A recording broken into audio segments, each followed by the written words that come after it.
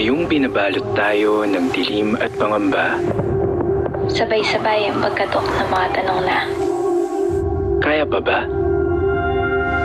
saan ba tayo pupunta? May pag-asa pa ba? Sa gitna ng lahat ng agam-agam, may mga bagay tayong muling natuklasan. Wala palang pagsubok ang makakatalo sa tatag ng ating nagkakaisang puso. Nananalig, nagmamalasakit, nagbabayanihan, Nagmamahal. Sa bayan, sa kalikasan, sa kalusugan, sa pamilya. at sa kapwa. Kaya anumang pagsubok ang kakaharapin, Umasang may magandang bukas para sa atin. at pagkatapos ng lahat ng ito, sama-sama tayong tatayo.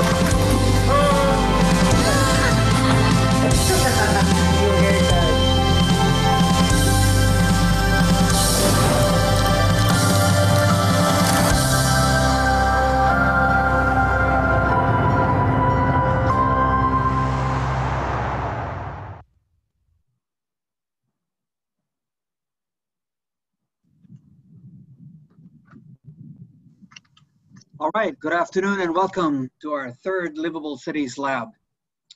I'm Guillermo Luz, Chairman of the Livable Cities Challenge, Chief Resilience Officer of the Philippine Disaster Resilience Foundation, and Associate Director at Ayala Corporation. I will be your host and moderator for today.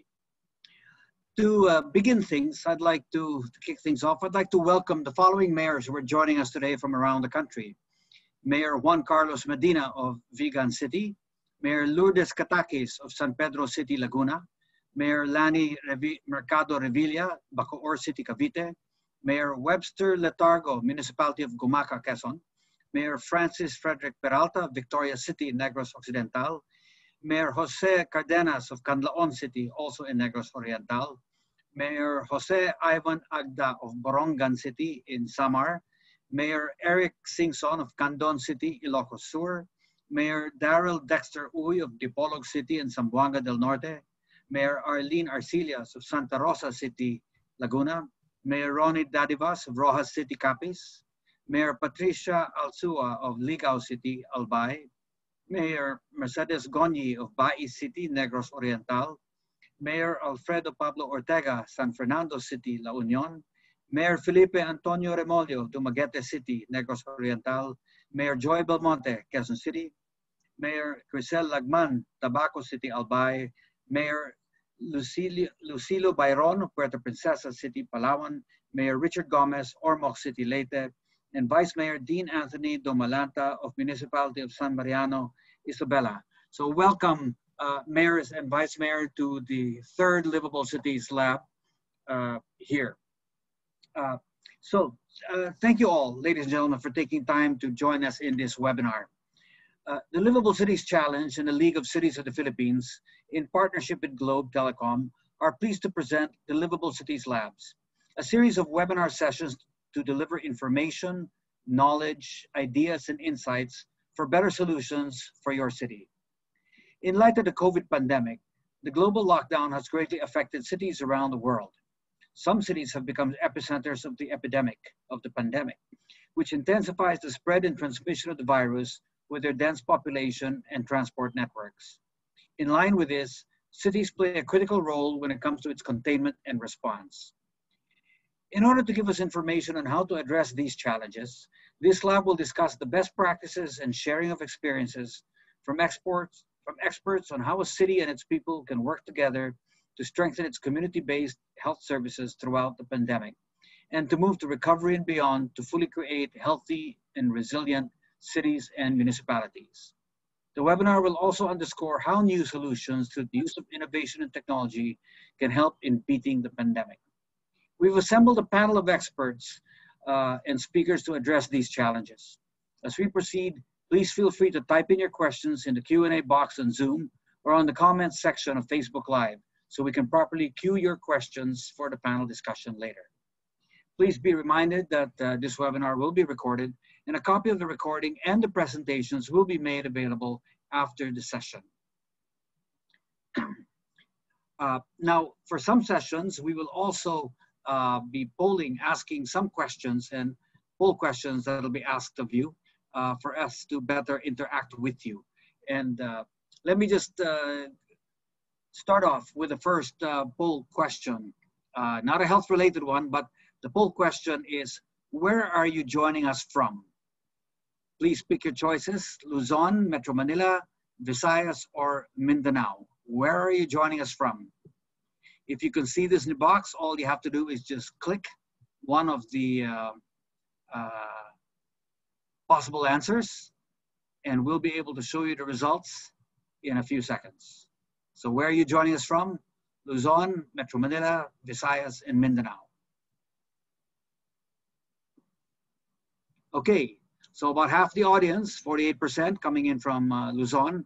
Actually, the rest of Luzon, 31% from Metro Manila. So uh, uh, almost 80% from uh, Luzon and Metro Manila, 13% uh, Visayas, and 8% in Mindanao. So thanks for answering the question. Now we know where you're all from. Uh, and so let us proceed with our first speaker for today's Livable Cities Labs. Uh, for our first speaker, it's my pleasure to introduce uh, a good friend, um, Sasha Boetsma. Sasha is currently the Technical Officer in Health Emergencies of the World Health Organization, or WHO, here in the Philippines. Uh, she has an in-depth knowledge of emergency and disaster management, as well as integrated community-based disaster risk reduction, health, and water and sanitation programs with over 20 years experience in development cooperation disaster preparedness, and emergency response, mainly for the health sector in South America, the Caribbean, the Middle East, the Horn of Africa, South Sudan, Central Asia, East Asia, and now Southeast Asia. I work closely with uh, Sasha throughout this uh, uh, pandemic in what's known as the T3 task force. We talk to each other once in a while and exchange notes. Uh, so it's a pleasure to have her on board here at uh, the third Livable Cities Labs. So to give us the overview of COVID trends and its implication on public health care, let's please welcome Sasha Boetsma. Sasha, please. Thank you, Bill. What a pleasure to be here. And thank you, everyone. Uh, magandang. Uh, that's all the Tagalog I can do, I'm afraid. Uh, I will start uh, with my presentation. Uh, so my presentation will really be an overview of the recent developments in, uh, in the COVID-19 pandemic, not necessarily only uh, focused on the Philippines, but a more uh, a regional and a global perspective, which will have a major impact on how we all adapt to this new disease that we still know so little of. I mean, uh, I will share with you what we know, and most of it you already know, of course, uh, as well. Uh, but there are also still many unknowns, and that causes a lot of, uh, well, some call it fake news. Uh, we call it the, the infodemic of, uh, of wrong information out there that WHO and the Department of Health jointly are having a daily task in um, correcting and um, ensuring that people are uh, yeah, uh, known uh, or familiar with the, with the, real facts and not um, the, uh, the, yeah, the fake news, basically. Okay, so this is a, a fresh map from uh, a few days ago, which shows basically the, uh, the, the, the, recent changes in the number of cases of COVID-19 globally. As you can see, Philippines is, is yellow, but then so is the United States and so is Brazil and we know those countries are among the most affected, affected in, uh, with COVID-19 cases uh, globally. So this just shows the, uh, uh the recent changes, meaning that there has not been uh, a major change in the number of, of, of newly reported cases uh, in these countries, including in the Philippines. And of course, we all know that the number of cases has significantly increased in the Philippines in the past month or so. Just to show you the difference between the different regions, the, uh, these acronyms are always a little bit difficult, but um, these are the Americas region, the PAHO, Euro is the European region, SEARO is Southeast Asia, EMRO is the either Eastern Mediterranean, AFRO is obviously Africa, and WPRO is the Western Pacific region that the Philippines is also falling under. So if you look globally, WPRO or the Western Pacific Regional Office for the WHO is actually uh, among the, the, the, lowest in terms of the uh, number of cases that are being reported uh, to the WHO uh, on the COVID-19 uh, confirmed cases. So if we look in uh, among the countries that consist of the, the Western Pacific region, which is Japan, Singapore, Australia, Malaysia, South Korea, China, amongst others, as well as all the smaller Pacific islands, but also Vietnam, Cambodia, and Laos, and Papua New Guinea, then Philippines is indeed uh, the, the, the, main contributor to uh, the, uh, the total number of cases reported uh, from uh, our region, so to say. Uh, here to see a little bit of change in the number of cases reported from the different countries that have been most affected. and there we can also see that the Philippines is really among the, the, the country with the highest number of cases reported on a daily basis. Um, of course, this is, and uh, there, there is also a good side to this, uh, because thanks to the fact that we have a much better ability to detect cases, uh, that is also partially, of course, why uh, we are able to, uh, to report on, on this increase in the number of cases. Uh, we can also see that the, the, the, age group of the, the, the, the, the well, have you here, you can see the four countries that we're looking at, but the age group uh, uh, of people affected or uh, infected, I should say, with uh, COVID-19 is becoming uh, uh, younger. So this is because we have a better capacity to test. So we're testing a larger percentage of the population. And as we will later discuss, among younger people, of course, we have many more people with milder symptoms or even no symptoms at all. So our ability to, to detect cases among specifically the group of asymptomatics is uh, showing the, uh, the effectiveness of uh, uh both contact tracing and testing systems that are in place in countries. And Philippines uh, is there, uh, a country that is really doing very well. Um, so I just wanted to highlight because I think most of you would be very much aware of what COVID already is. Uh, but this is really to address these issues on uh, the, the, the, fake news, so to say. So there's still so much unknown about this disease. I mean, we still don't know exactly the source. What is the impact on health? And that will have a major impact as well on our healthcare services. The transmissibility, I know you've heard a lot about uh, uh, uh aerosol and uh, all these uh, airborne uh, transmission. So there's a lot of fake news about that. But transmissibility means the ability to pass the disease from one person to another. And also immunity has been one of these topics that has come in the news uh, quite frequently lately. So in terms of the, the source of COVID-19, we still don't know exactly what the source is. We know it's an animal, so we know it's zoonotic. Uh, so there have been many, many researches already done, and it's only so far either a bat or a pangolin uh, that we can trace back to, uh, to uh, the COVID-19 uh, virus, which is called SARS-CoV-2. Uh, but it's not yet confirmed. And we still really don't know how it has been spread from also from the, from the animal to the human. So still, we are very much in the dark when it comes to the source of the COVID-19 virus. A health impact. Okay, so like in Philippines, we see 90 1.9%, which is a very large uh, percentage of total cases, is mild. Um, however, we know now as well that uh, uh, particularly among young adults uh, and those with without uh, underlying chronic medical conditions, the recovery, uh, even if people had a mild form of the disease, can take much longer than what we initially said, oh, just in a couple of weeks, you're okay again. No, we really see that a lot of people are struggling to fully recover and get back to their, their, their health before uh, they were infected, which will have a major impact on how we uh, uh, well, treat people, uh, uh, first of all, but, but also uh, the, the, the, burden that this will cause on the, um, on the health system. And then, of course, we should also, and, and there will be a presentation about this later, not underestimate the impact on mental health. And so still so much is unknown of the, the longer term or even middle term impact on both physical and mental health from COVID-19. So transmission.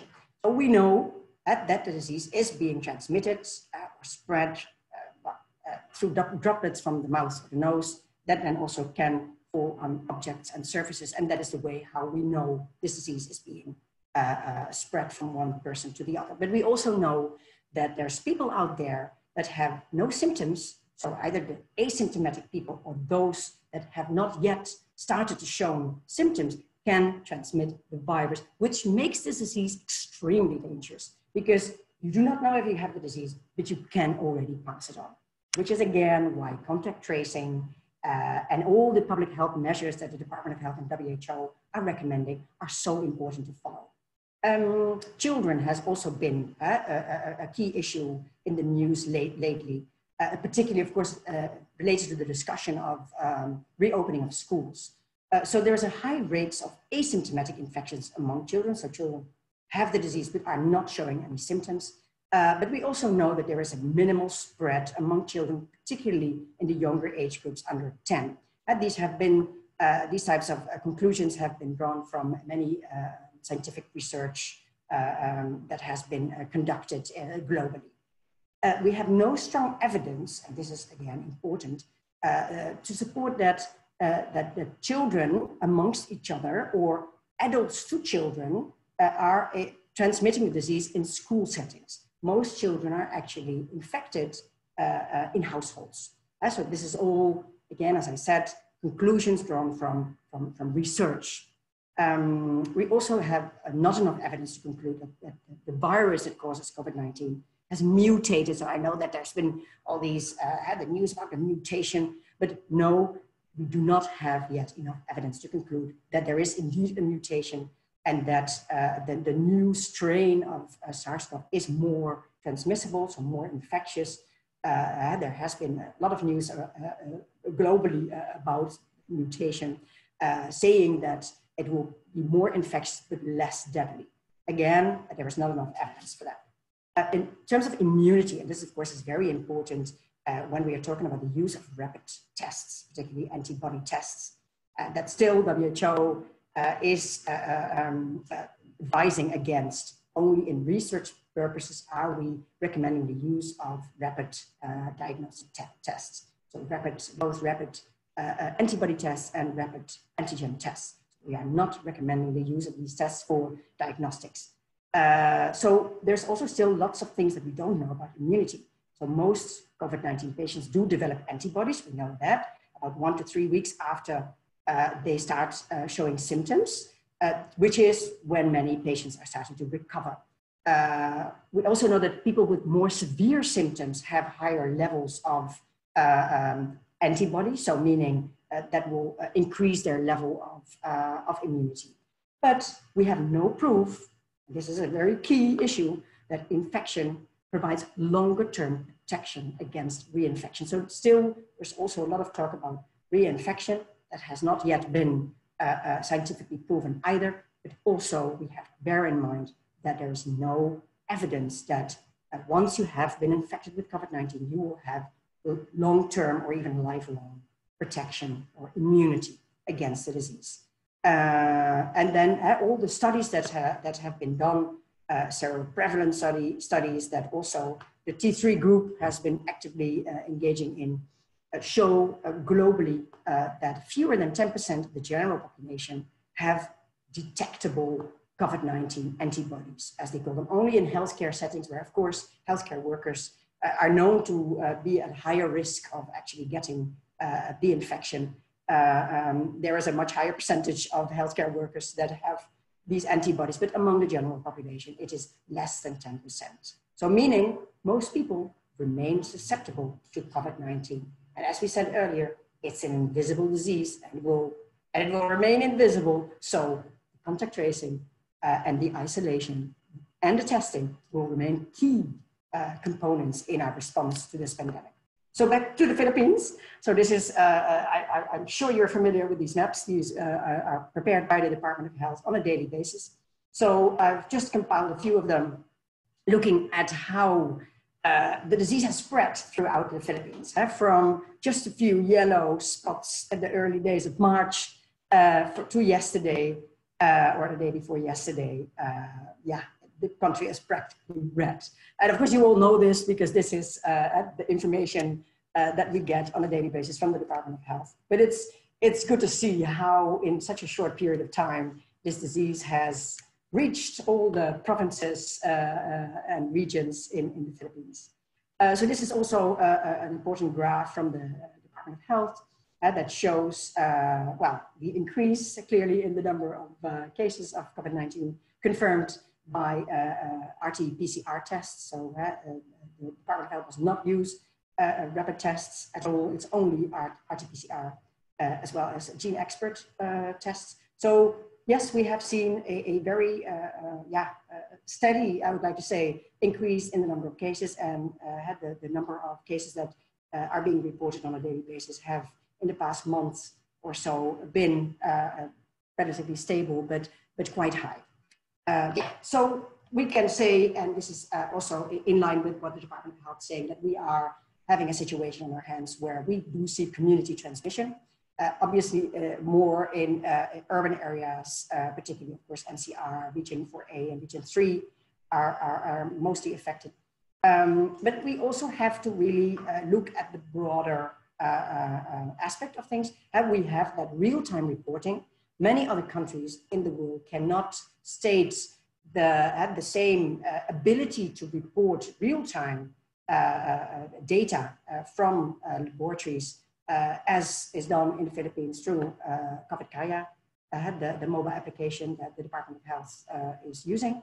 We have expanded our laboratory network to 109 labs. I mean, that is, of course, also adding to the ability to uh, detect cases and to uh, uh, yeah, to report an increase in the number of cases. We've seen the relaxing of quarantine measures and of course the undoing of that uh, because clearly that had a, a, massive impact on the, on the transmission, on the spread, the facility and spread of this disease. Uh, but we've also seen some poor adherence to the control measures that we all know what these control measures are.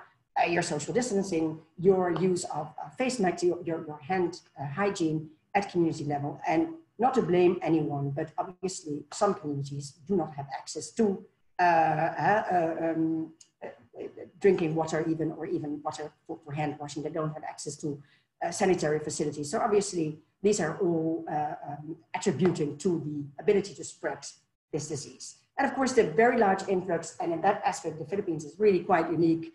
Uh, the, the large number of returnees uh, from the, uh, the overseas Filipino workers as well as the, the locally stranded individuals, has obviously greatly contributed to this increase uh, in the number of cases throughout the country. Uh, just here to show uh, that also, thanks to the fact that we have the large number of laboratories now functioning, we do um, yeah, have a daily testing output of on, on the overall over 30,000 tests per day, which is, which is significant. Um, we have here this, this wonderful uh, uh mobile application that is working uh, uh, from the barangay health worker up to the epidemiology bureau from the Department of Health at national level. So one database that, that everybody is having access to and that it is allowing for that real-time information sharing. this is also a wonderful tool that the Department of Health has developed uh, the health uh, facility uh, reporting of essential resources and supplies uh, almost 2,000 hospitals in the country are reporting on a daily basis about, uh, uh, well, the, the, the hospital uh, bed capacity, the ICU uh, uh, occupancy rate, the, the, ventilator utilization. So all these very, very important aspects that, we, that can allow us to monitor the situation in the different hospitals. so this is, this is also a very, very important tool for us to to, to monitor the, the situation, not just in, in Manila, but, but throughout the country. Uh, so uh, the, the ECQ, Enhanced Community Quarantine, has really been used by the government to increase the testing, isolation, and treatment capacity. I mean, uh, we're talking to the mayors here. They obviously know this very well.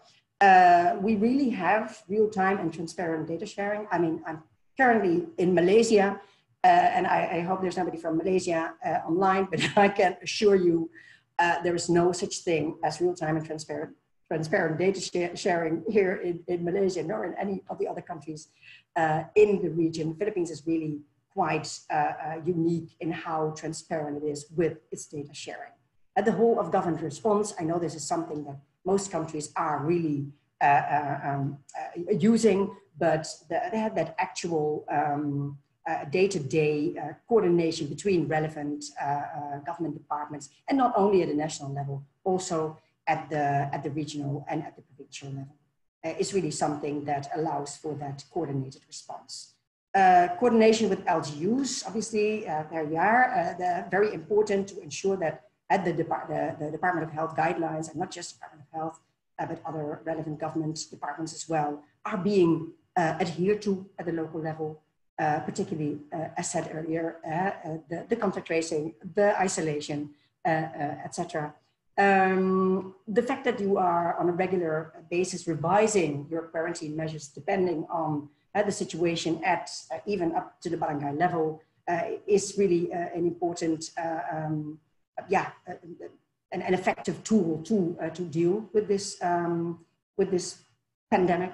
the fact that the government has been providing financial support to those who have been economically affected, which is an incentive or should be at least an incentive for those people who have symptoms that do not have the ability to isolate at home, to go into one of the uh, uh, LGU uh, um, quarantine centers or isolation centers for self-isolation.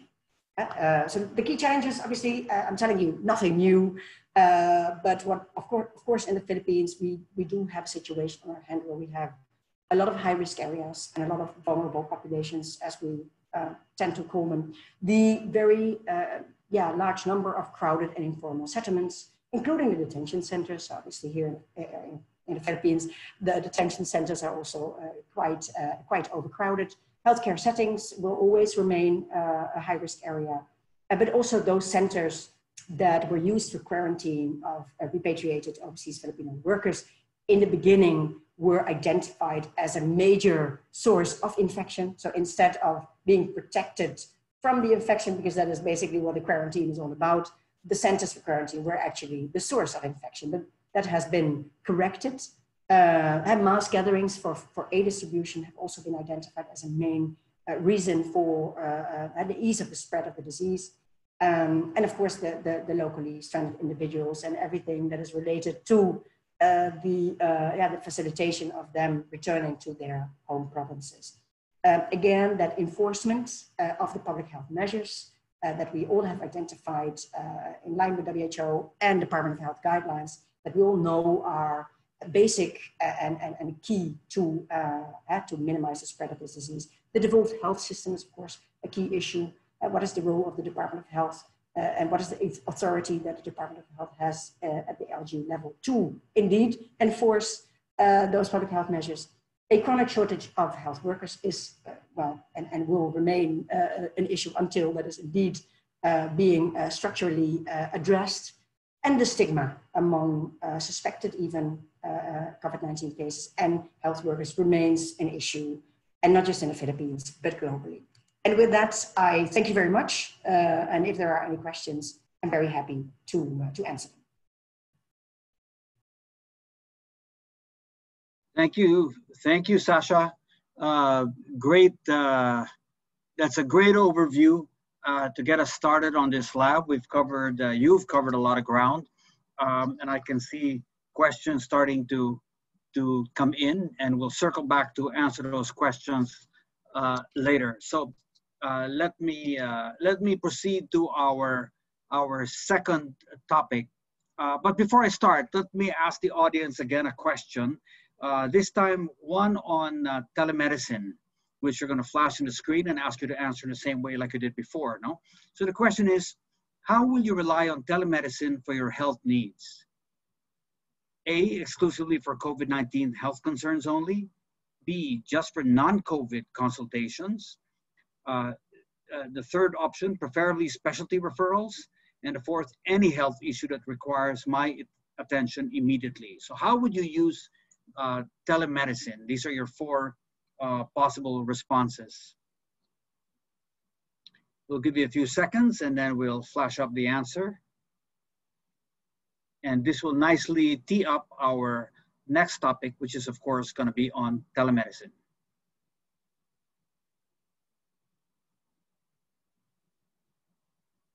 Okay, well, uh, overwhelming majority, 88% uh, will say they would use health, uh, telemedicine for any health issue rather than just focusing on, uh, on, on a COVID-19 health issue or a specialty referral. So thanks very much. And um, we can now proceed because this tees up our next uh, question. Our, our next uh, topic, our next speaker will talk about the use of telemedicine against COVID and how tech and uh, mobile healthcare can help us manage this pandemic. Uh, our next speaker is Dr. Eric Tayag. He's currently director of the Department of Health Knowledge Management and Information Technology Service, where he provides overall direction to provide plans, policies, programs for sector-wide information communications technology services towards better health results at all levels of the healthcare system. Ladies and gentlemen, let's please welcome Dr. Eric Tayag. Thank you, Bill. Good afternoon, everyone, and thank you for the organizers of this uh, webinar, notably the Liveable Cities Challenge or Lab and the Globe Telecom family. Uh, can we share our slide, please? Okay. This is a truly a livable cities challenge. How do we exactly deliver health services when they have been severely disrupted by the ongoing COVID-19 pandemic? Who knows when it's gonna end? Will there be other disease outbreaks, for example? Will there be excess deaths due to COVID-19 pandemic? Are livable cities a panacea because of the pandemic? Next slide, please. Just 200 days after the World Health Organization declared COVID-19 as a public health emergency of international concern, we have over 21.2 million cases and three quarter of a million deaths. The Philippines has had its own share. When I turned 62 last April, it was just over a million in the country. In the Philippines right now, my calculation of the doubling time based on a three day moving average is 31 days. Just between the ranges of 30, 70 days we're in, we can be comfortably under a general community quarantine. The next few days, however, will be critical as doubling time is expected to add more days, or perhaps we don't want days, the reverse, which is going to be dire. Next slide, please. Every public health measure thought to address the containment of mitigation of the pandemic were well considered by official authorities, including our mayors who are attending this webinar. Good afternoon to our mayors, and thank you for joining us this afternoon. And independent experts, mostly based on science or experience, and to which the civil society responded the same way as we consider them so serious. Well, cities, however, had to calibrate their responses to protect everyone and allocate resources, for example, of what is readily available at their disposal as much as what they can actually outsource. Look at how we have responded to the crisis so far. So we have to create an emergency operations center at the DOH and have the interagency task force on emerging and re-emerging infectious diseases established so that we can coordinate the implementation of our responses from the different government agencies. Um, we were able to provide you from the data sources that uh, will require information, immediate information for which uh, guidance from uh, program implementers and uh, policymakers would want to share with you at the best possible time. Uh, we have now 100 testing facilities and we hope that uh, our capacity is now enough If it is not enough, then there's always room for improvement. The dedication of dedicated COVID-19 hospitals, step-down hospitals, central and community quarantine facilities are still uh, mushrooming and uh, because we have anticipated that a large number of Filipinos will still require services from these facilities. We have continuously provided you with public advisories and um, we have also received your critiques and this these are welcome for us in the Department of Health because we want to make sure that uh, improving the quality of our messages becomes and should always be a priority. And the these public advisories are meant to uh, promote the detection, location of every Filipino who needs to be tested, uh, trace as in contact tracing, so that those who have exposures should be quarantined and those who are sick will be isolated, taken care of, treated with medicines, quality medicines that have a prior approval, and of course, even the disposition of uh, dead bodies have been taken into consideration. And since March, we have provided the DOH COVID-19 hotline. That's the 1555. The widespread use of technology and innovation was a no-brainer. But exactly how did we fare with technology? Next slide, please. In this slide, we list down the challenges and vulnerabilities. Thus, there remains quite a discrepancy between what is desired and what actually happens in communities. In this particular case, the cities. Let us take, for example, the challenges and vulnerabilities as we listed them here of cities to promote to their citizens this containment or mitigation measures.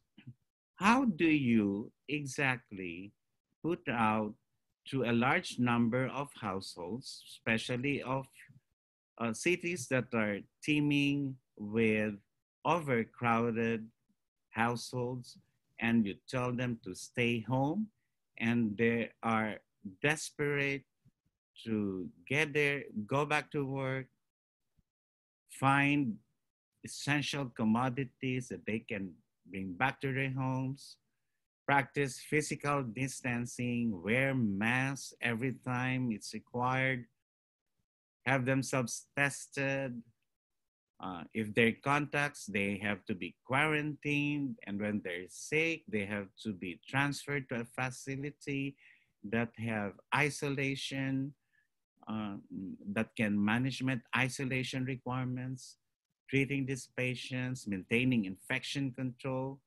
These are challenges. These are daily challenges. In fact, as soon as we wake up, we think about this, and before we sleep, we worry about them. Next slide, please.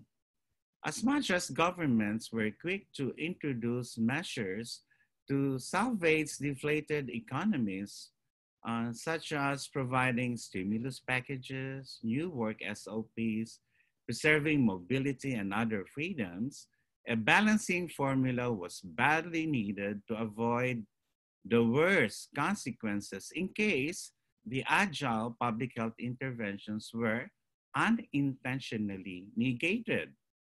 So the WHO listed these approaches for the new normal, that the disease transmission is under control, that the health systems are able to detect, test, trace, isolate, and treat every case.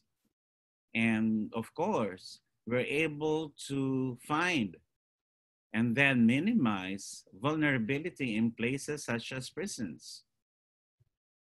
Settings such as schools, whether or not there's going to be a hybrid education, workplaces, whether or not there's enough infection control guidelines, and other essential places or establishments if they have really uh, invested in measures that are concerned, considered preventive.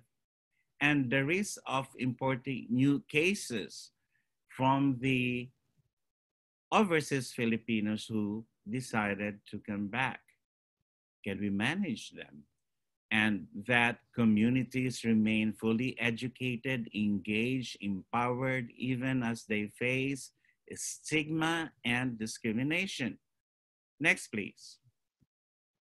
There's only one health imperative, ladies and gentlemen, saving lives.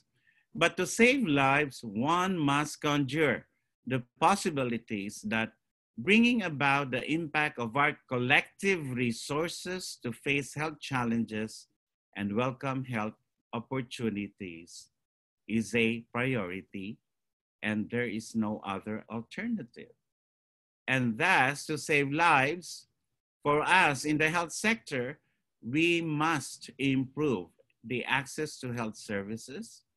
And when there is access to health services, to ensure that there is effective patient care and that we value coordination of end-to-end service delivery between health facilities and cities can learn from their own lessons and marshal their resources so that these health imperatives are also their priorities.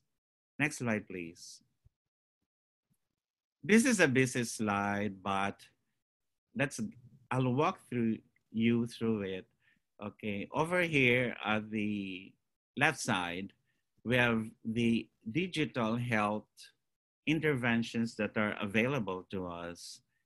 Uh, it's telemedicine, it's health information systems, and tracking and notifications. But we have to describe them in terms of improving access, quality, and bringing down cost. Let's look at telemedicine, for example. So it addresses, for example, the absence of access, whether it's because of distance, whether because there's a cultural barrier, and this remote access is provided by telemedicine. Now, the provider shortage, as uh, mentioned by Sasha earlier, can actually be something that can be addressed with telemedicine because in telemedicine, there is access to online providers.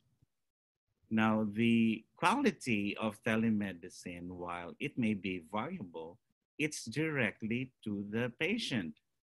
And there have been studies that it actually decreases cost in the long run.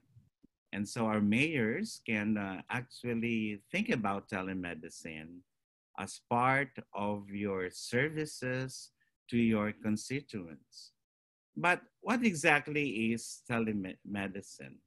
For the uninitiated, we define for you telemedicine a technology that was actually introduced many decades ago and which had gathered momentum only in the last two decades in developed countries and only much recently to limited resource countries. The private sector have been busy changing the last landscape with this technology, especially in the Philippines. And we learned that government intercession is the missing puzzle piece to accelerate its development. Next slide, please. There is, however, prevailing hesitancy for rolling out and scaling up telemedicine. How is that so? Well, we have these telemedicine first principles, for example. It's about equality. DOH cannot imagine if we introduce any telemedicine platform that there will be many who are left behind. So we think so much if we introduce um, applications on smartphones if the balance is not in favor of those who do not have these smartphones. So that's why we encourage third party developers, if they have to partner with us or government, that these actually are taken care of. And then there is public resentment against any breaches in privacy. And so therefore we have to address privacy and data usage concerns. And we always believe that science should always provide guidance so that we can have a transparent and auditable algorithms that makes triaging, if this is about telemedicine, because triaging is an important component of telemedicine. It's the start of how we provide guidance to those who access telemedicine services. And then we have to also consider digital deployment strategies that support specific groups. So we have to categorize them into healthcare workers, for example, the older persons, and of course, there's individual consent, always. Next, please. So how should we go about with our telemedicine in the country? In this slide, we show you that there are different forms or models, if you want to call them. There's the hotline model, the partner model, and the health facility-based model. Let's describe each one. Next, please. Well, in March, uh, right after the instructions from Secretary Francisco Duque III that we have to provide information the best way we can to many Filipinos, especially in Metro Manila, to allay their fears, anxiety. So with DILG, Smart PLDT, we were able to establish a 24-7 DOH hotline. That's the 1555 as shown in the screen. In the early days, I functioned as a call center agent, would you believe? And then as we rolled it, we began to accept telemedicine consultations. And the demand was increasing. And so we had to find ways how to have telemedicine services using a hotline model. So we partnered with medical societies, with medical institutions, the academics, so we can provide a long list of telemedicine volunteers that can cater for the needs of those who access this platform. Next slide, please. We realized that it will take a village or what we would acknowledge among technology and innovation advocates. We need a system, we need an architecture. In this slide, we show you a simple architecture of how you can start your telemedicine using the hotline model. And so therefore, it will require patience, resources, and there should be good cooperation between the participating facilities, offices, agencies, for example. Next slide, please. We never relied on just one model because the actual situation would actually prevent us from rotting with just one solution. So we introduce third-party telemedicine apps. And KonsultaMD was among those who was a pioneer in joining hands with the DOH. So thank you, Globe, Consulta MD, for rising to the challenge of this second model. The and uh, when we introduce it, it's now on a subscription basis and it's very reliable and we had thousands of teleconsultations using this platform. Next, please. Now, we are in the stage of a facility-based model, and uh, Mayor Joy Belmonte is listening. We have to commend your staff and officials in Quezon City because they have successfully piloted a model for telemedicine that uses a healthcare delivery network. Congratulations, Quezon City.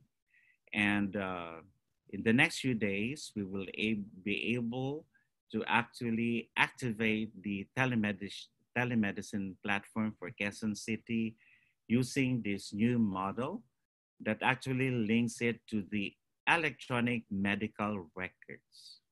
Amazing. Next slide, please. And of course, the lessons learned, we should not forget that these lessons are valuable to us because the access of patients through ICT will always be a driver of telemedicine. But we need regulation, and that's why we uh, have reached out to lawmakers so that a law that promises to provide regulation on telemedicine can actually be institution, institutionalized in the near future. And financing can shape the cost-effective provision of telemedicine, and we hope that uh, PhilHealth would uh, improve telemedicine through this uh, financing, albeit that uh, the PhilHealth are, is currently facing uh, challenges on its financial capability. And of course, there's opportunity to mature the requirements for uh, telemedicine. Uh, we are working with DICT so that the cognitive co connectivity, for example, can be improved. Now, let's not forget best practices. Okay? Here we show you that when we set up, technology becomes easier when the goal is clearer and when partners actually collaborate. Okay. The policies are backed up with evidence and data and there is third party monitoring. Next slide, please.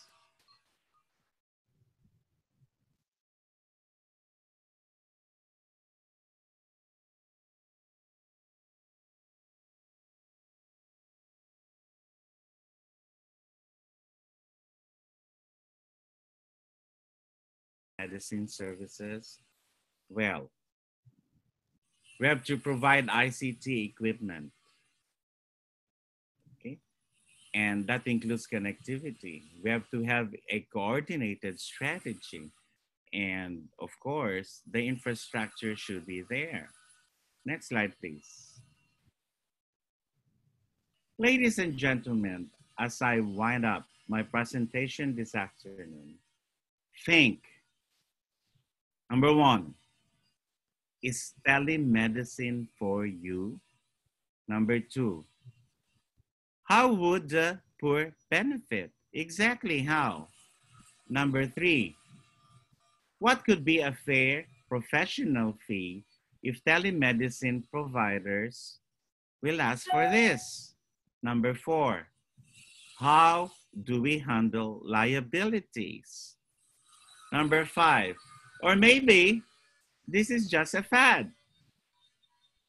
And lastly, the last slide, please.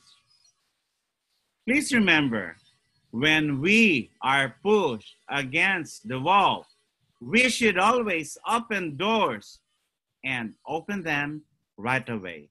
Thank you. Good afternoon.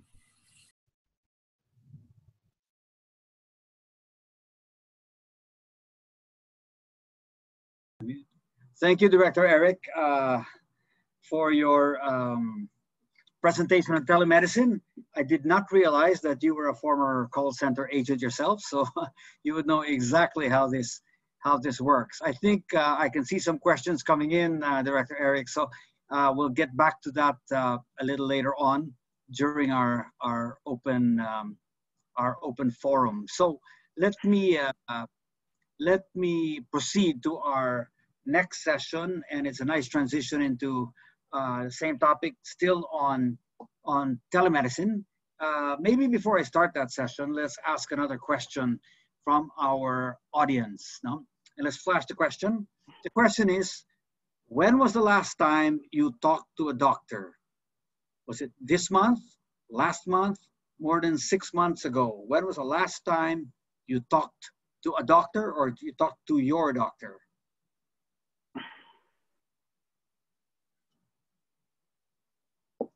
Give it a few more seconds and let's see the response right after that.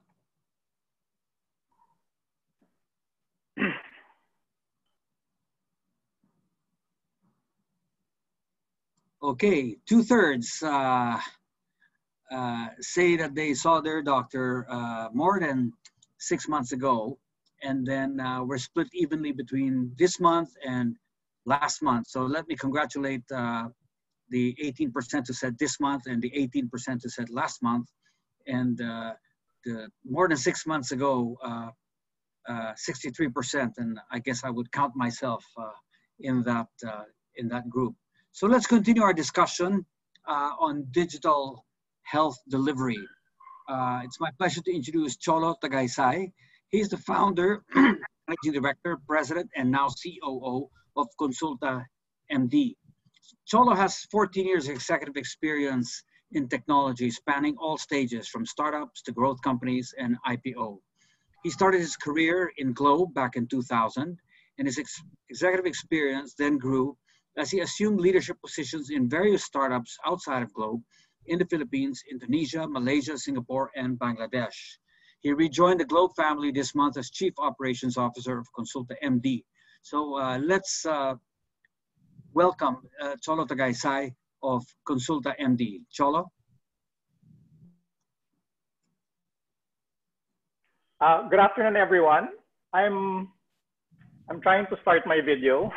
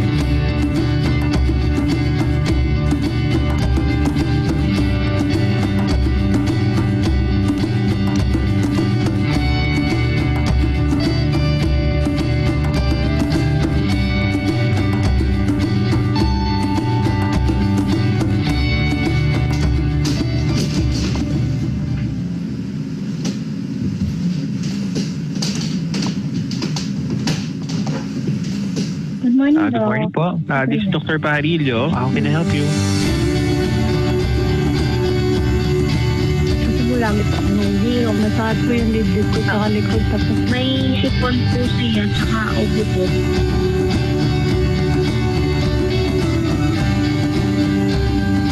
Nakausap ko ngayong doktor sa telepono, abay nagulat ako. Meron palang doktor na mag-a-advise sa akin. Kasi wala naman doktor na dumarating dito eh. Pakarami na po talaga ng mga katutubo namin na hindi po talaga nakakapagpagamot. Maghapon na biyahe, sasakay pa po ng bangka, tapos kalahating araw pa po bago pa po dumating sa klinik at ospital. Malaking tulong yun. Bukod sa wala ka ng pamasahe, doon ka na lang sa bahay tatawag sa kanya. Madali lang po kasi naka-ready na po agad yung tatawagan mo. Pag nahilo ko, sumakit ulo ko, tawagan ko lang si Doc. Okay na, sabihin na ni Doc sa akin kung anong dapat ko.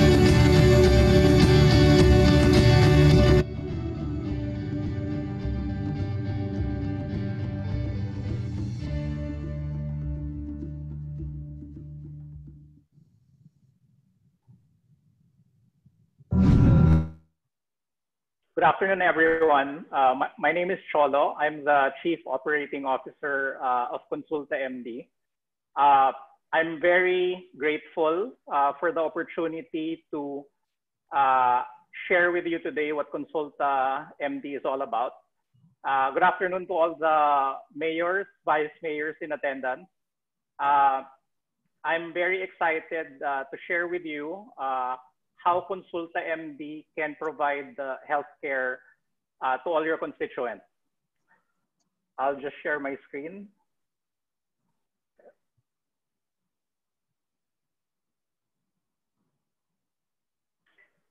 Okay, so just uh, uh, a little background. So KonsultaMD uh, has been in operation for over five years already. We're uh, part of the Globe family. Uh, and uh, it's, the relationship with Globe that's actually allowed us to grow into uh, the biggest telehealth company uh, in the Philippines. So uh, a critical pain point with telehealth is how do I pay? Uh, you can't pay with cash because the very definition of telehealth is hindi kayo magkasama ng doktor. So you're at home and the doctor is somewhere else. So cash is not an option. Uh, kung credit card naman, uh, less than 2% of Filipinos have a credit card. Uh, uh, KonsultaMD is the only telehealth provider that allows payment via mobile load. So we know that uh, uh, while most people will not have a credit card, uh, ev- everyone uh, either has load or a postpaid bill. So uh, that integration with Globe uh, is really uh, what's allowed us uh, to grow uh, into where we are right now. So what's KonsultaMD? So Consulta MD is a telehealth service that provides access to skilled and licensed Filipino doctors. So you can you can access KonsultaMD via an app, uh, via the web, uh, or via a hotline. It's the hotline actually that uh, I would put the most emphasis in because uh, uh, not everyone uh, has a smartphone. Not everyone has fast internet connection, di ba? Marami dyan nakiki-Wi-Fi lang. So when all when all those things are in present, uh, gagana pa rin ang KonsultaMD because you can simply call uh, our hot our hotline. So uh, KonsultaMD provides uh, medical advice, general health information, uh, proper medication. Uh, we dispense e-prescriptions, uh, e-laboratory requests, uh, and e-medical certificates. We also provide uh, a mental health service. So while we would never claim that uh, telehealth uh, is better than a face-to-face with a doctor, uh, uh, it's when when that's not possible, uh, telehealth is the next best thing, uh, which is the situation where uh, most of us find ourselves now. We're working from home. We don't want to leave the house, but we want access to a doctor. That's where telehealth and KonsultaMD can come in. Uh, so there are three things that make uh, Consulta MD unique. Uh, mabilis, mura, 24-7. Uh, so Director Tayag touched on this earlier that telemedicine can address the cost issue of healthcare. And I think uh, KMD can contribute uh, very strongly to that. Okay, so mabilis. Uh, with KonsultaMD, you can talk to a doctor immediately. Uh, we are the only telehealth service where if you call the number, yung doctor na mismo yung sasagot. So it's not an operator, it's not a chatbot, uh, it's the doctor itself uh, himself answering. Uh, and uh, the main point here is there's no need to make an appointment. So if if hindi ka matu- makatulog, uh, it's 3 in the morning, iniisip mo may COVID ba ako, you can simply call a consulta MD and may doktor na sasagot kaagad sa'yo. Uh, right then and there. Uh, so mabilis siya and uh, more importantly, mura. Uh, so if you think about uh, the cost of a doctor's consultation, mura na ang uh, 1,000 pesos. Uh, with KMD, you can talk to a doctor for as low as 15 pesos. Uh, and yung 15 pesos na yon, unlimited yon for the whole week. You can call the doctor as often as you want for your peace of peace of mind. So 15 pesos per week is our consumer offering, uh, but our pricing for LGUs is even much lower. Uh, we're 24-7. So doktor na nga yung sasagot uh, immediately, anytime, all the time pa. So we, uh, we, we have full-time KMD doctors uh, and we deploy them in three shifts. So may 7 a.m. to 3 p.m., may 3 p.m. to 11 p.m., 11 p.m. to 7 a.m. So uh, we're always available, we're always online. Um, this is just to show you how the app works.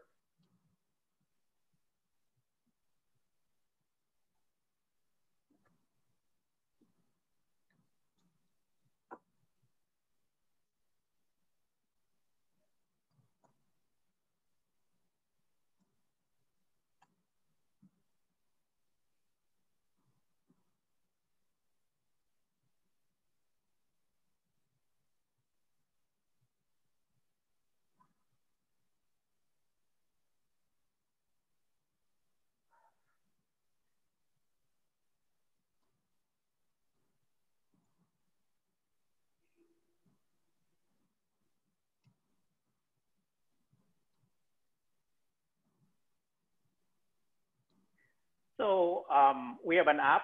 Uh, you can also access us via the web uh, or simply call our hotline. So, uh, uh the, uh, so KonsultaMD has a consumer offering, uh, but beyond that, we also work with companies, the the national government, and of course LGUs. So uh, over five years, uh, these are the companies that have uh, chosen uh, to trust their healthcare uh, with KonsultaMD. So um, with companies, uh, the way it works is KMD is provided as an additional layer to their HMO. that's particularly relevant these days because uh, most employees are working from home. Uh, so uh, telehealth is really the most uh, relevant uh, benefit uh, an employee can receive. we work closely with Director Tayag. We, we work closely with, with the DOH. So recently, uh, we did a partnership where we plugged in uh, DOH volunteer doctors uh, on the Consulta MD platform uh, and provided uh, free consultation. We've also partnered with uh, OWWA, where we provided free consultation to OFWs that are quarantined. Um, so uh, what what we've done with uh, Sorsogon, uh, with uh, Governor Escudero, uh, is really a great example of uh, the end-to-end solution that we can provide uh, for LGUs. Uh, so um, our basic service is really the hotline, the app, web access. But for LGUs, uh, LG, LGUs might have uh, special customized needs. So in the case of Sorsogon, for example, uh, there were certain areas na uh, yung mga tao walang, walang smartphone, uh, walang Wi-Fi, uh, walang LTE. So, uh, and in some cases, uh, walang telepono.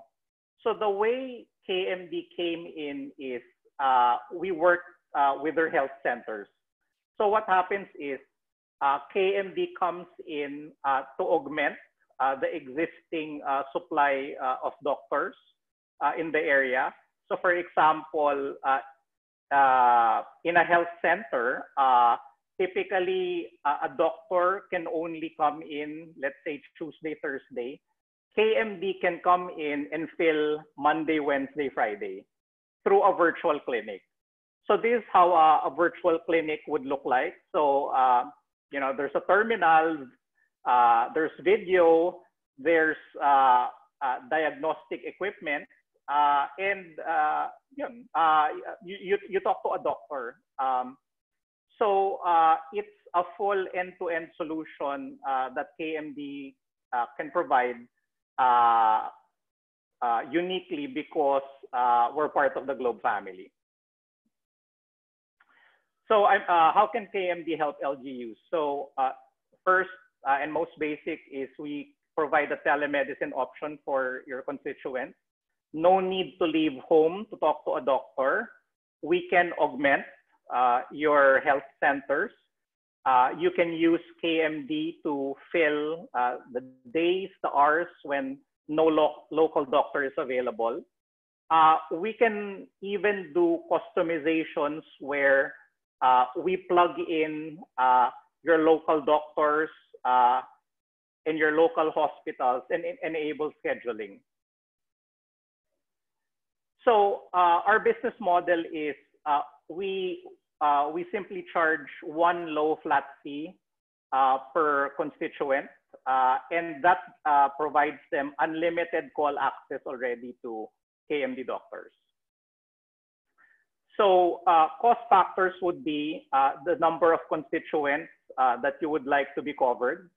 Uh, the, uh, the larger the constituent base, uh, mas mura nagi, mas mura bumabaksak yung cost. other cost cost factors would be: Do you have special needs? do we need to set up a health terminal in your in, in your clinic? uh, will you need globe connectivity? Uh, uh, what other uh, customizations uh, would you require? So those all factor uh, into the cost. we're, we're very excited to be part of your local healthcare solution. if you'd like to work together, please email me at info at globaltelehealth.com.ph. I look forward to continue the discussion with you later uh, in the Q&A. Thank you.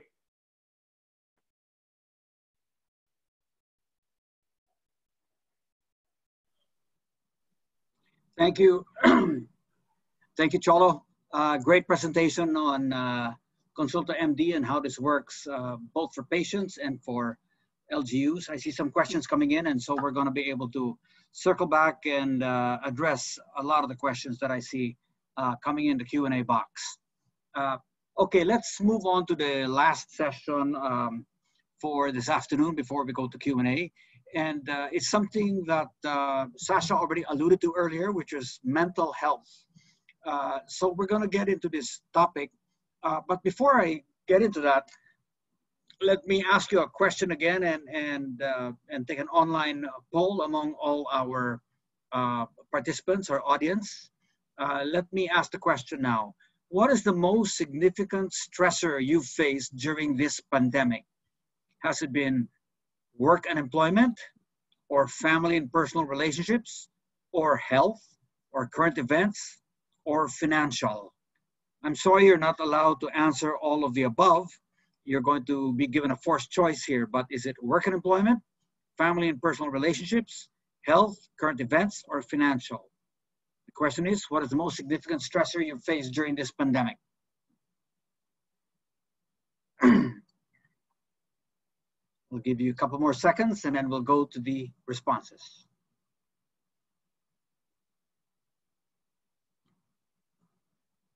Okay, oh, it looks like we're uh, quite uh, distributed. Current events, 30%.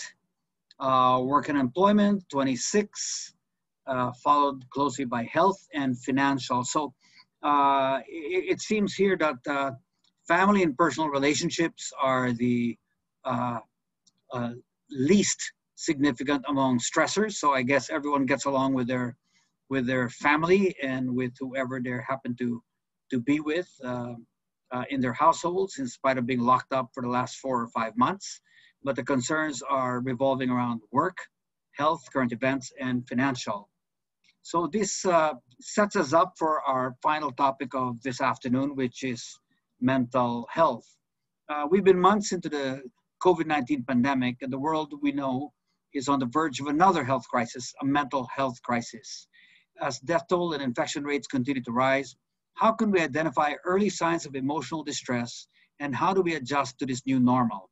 We're going to hear from a Filipino physician and mental health advocate Dr. Gia Sison as she explores the pandemic's emotional toll and shares coping strategies as well as insights in the Philippines' COVID-19 response. Dr. Gia specializes in occupational medicine and is a graduate of UST. She is the former Chief Medical Officer of Global Telehealth Incorporated and co-founder of Health XPH, which promotes the responsible use of social media in healthcare. She was a project consultant to the WHO Western Pacific Regional Office on health lifestyle, health lifestyle in the workplace. She is currently the head of Makati Medical Center's Women Wellness Center, and she's a staunch mental health advocate and life and leadership blogger. She hosts her own digital series which talks about life, love, and anything mental health related. And she is also the resident doctor of Boys Night Out on Magic 89.9 FM radio. Uh, I haven't listened to Boys Night Out in quite a while, and I didn't realize it had a resident doctor, so I'm learning something new every day. So, Dr. Gia, you've got a great background and um, uh, a great advocacy. Let's please welcome Dr. Gia Sison. Thank you, Bill.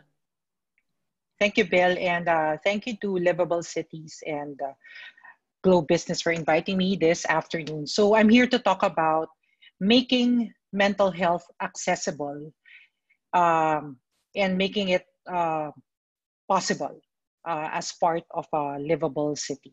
Next slide, please. Uh, first, we have to define what mental health is. Date, when we talk about mental health, it actually defaults into something that is negative. But when we look at it as a whole, uh, by definition, it's actually a state of well being where one realizes uh, full potential. We are able to cope despite the stresses in life, and we are able to serve our community. Our community. Uh, and we have positive relationships. And having positive relationships doesn't mean zero conflict. We may have conflict, but we can actually address address them and learn from them at the same time. Next slide. And when we look at the biopsychosocial model of health, we're not talking about just the biological aspect. It's not just the physical aspect, but there will always be a psychological aspect and a social aspect. When COVID 19 hit us, uh, it hit everything. So, in general, it really hit on health as a whole. Next slide. And so, these are six points are six among so many mental health concerns during the time of COVID. Uh, we are at uncertain times. We are still evolving and trying to find out what the behavior of the virus is. Quarantine facilities are actually sources of stress in terms of risk of isolation and loneliness, especially if you are a COVID suspect or a COVID uh, patient there is actually an increased stigmatization in communities as well. Just to share, as a doctor, I have encountered a lot of uh, concerns from the frontliners who have actually been kicked out of their dormitories and uh, condominiums because the admin found out that they were working for a hospital. So we really have to aim for this deep stigmatization of mental health. There's an altered grieving process. Personally, I have lost an uncle because of COVID-19 and we couldn't grieve. Hindi po kami nakapaglamay because by DOH protocols, kailangan makiremate within 20, within 12 hours. So there is really this complete alteration of how, li- how, how lifestyle is. And it's not already the new normal. It's actually how it's going to be from now on. And of course uh, there are already a lot of barriers in terms of accessing um, health services that are non-covid related. We have seen a lot of patients uh, suffer if i may use that term in terms of access to dialysis and as a cancer survivor um, I have had received concerns about patients who are unable to access chemotherapy sessions because of transportation challenges. And of course, the next wave will already be mental health related because of so many uncertainties we are surrounded with. And of course, there is amplification of social divides, economic, health, and that's why uh, when I was listening to the lectures earlier, and also a disclaimer that I am part of the advocacy of DOH and Telemed, and of course, previously uh, with Consulta MD. Whenever I engage in teleconsults, nararamdaman ko po talaga yung um, need ng pasyente in terms of a doctor being there to assure them of what they're feeling and that yung continuity of care sa healthcare will be there. So next slide. So who are actually vulnerable to mental health concerns? The answer is everyone. Everyone is affected at different degrees. But everyone, we need to work on an inclusive community to address this. Next slide. And when we look at the social ecological model, yung uh, itong nasa right side po natin, it tells us that our individuality or individual action is actually shaped by the community that we are living in. So when you look at the outer uh, parts of the circle, hindi mawawala yung community, yung public policy in terms of how we are in terms of knowledge, attitudes, and beliefs. So we really need to work hand in hand because at the end of the day, hindi po natin yan kakayanin alone. So we have to look at this model to be able to appreciate and look at everything from, uh, from a macro standpoint as well. Next slide. So cities and municipalities uh, can actually be areas, and we should make these areas an actual intervention for mental health to be accessible to everyone. Next slide. Uh, this study uh, was published last April 2011, and they actually studied understanding the pursuit of happiness in 10 major cities. Um, itong article po nito was built upon the premise of existing literature that identifies Yung ano ba yung predictors of happiness ng 10 urban areas, which is outside the Philippines, in terms of health, in terms of wealth, financial, and in terms of social connectivity. So dito, um, they found out that the cities that provide easy access, that make it affordable and readily there, not only in health, pati lahat ng aspects, uh, pati sa public transportation, pati uh, even in terms of leisure, where they can actually rest uh, and practice uh, recreation. And cities that are actually affordable and serve as good places for, for them to raise their children. These are factors that were considered in this article last 2011. So next slide. And this slide is a summary of the urban mental health impact mechanisms. So take into consideration example, social isolation and loneliness. Uh, when we look at it, it's actually, uh, ang problem dito, it's mixed. And it's, uh, it's associated with uh, yung urban versus rural. Ang urban household tends to be smaller and uh, more mobile versus a rural um, rural residents who tend to be superficially friendly pero they tend to go to the city to offer probably more social opportunities. And thus to your right side ito yung strategies that they have found to be effective in being able to address this um, mechanism so to encourage community cohesion is very important. So positive interactions among neighbors. Uh, although that is not possible now because we all know that physical distancing is one measure that we have to practice. However, we can always make social connectivity possible. And of course, inclusivity. On the next slide, our a lot more urban mental health impact uh, mechanisms that we need to address, like transport conditions too. Uh, it may have both positive and negative impacts. So we now evolve into um, actually hindi na po innovation because other countries are already practicing. However, making bike lanes accessible, improved walking should be encouraged, lalo na ngayon when where even in GCQ, meron ng reduction dun sa in terms of transport conditions. So when you look at this whole slide in this study, it will actually help no, in terms of planning, especially uh, addressing mental health accessibility. Next slide. So how can cities do better when it comes to mental health? Because we live in this uh, definition or this mantra that there's no health without mental health. And after launching the mental health law, we really have to realize the importance of it more than ever, especially now. Next slide. So adopt a local policy for mental health.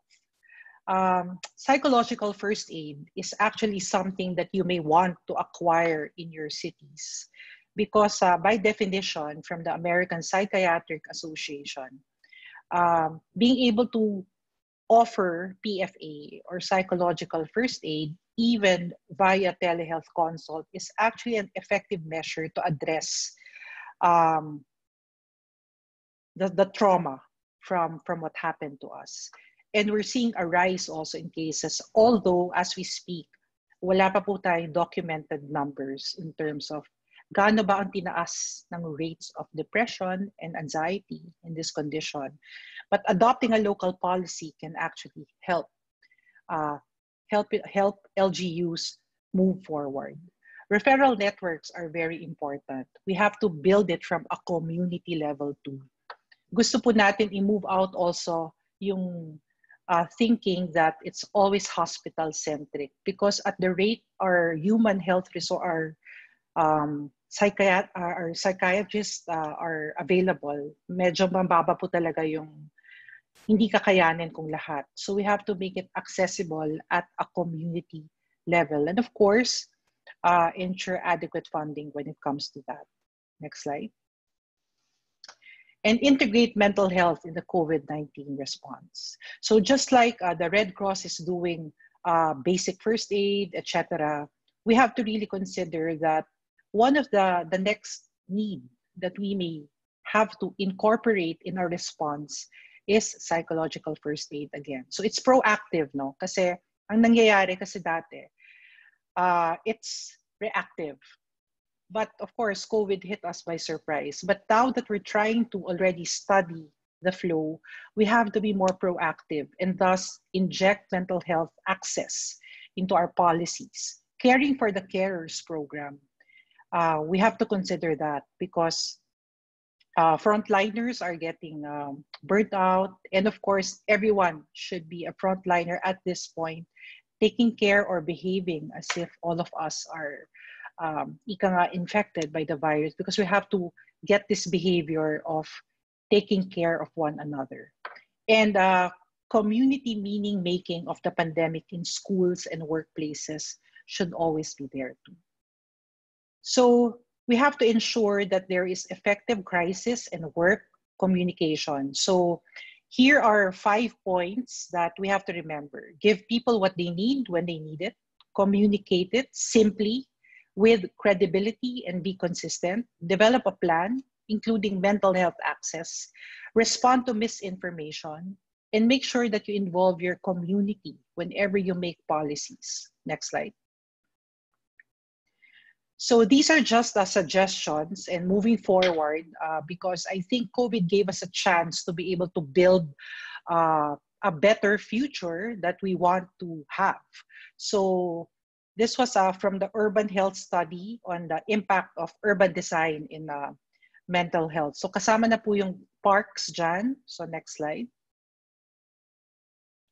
Promotion of active space for exercise, but of course with caution because and we have to take into consideration yung how how the how our roads are structured as well. Next slide. Make cities safe. No, in Manila they have this ordinance of uh, safe spaces, and I think that should be advocated all the more now to make it uh, to make the streets well lit uh, and have ordinances also to protect uh, the people.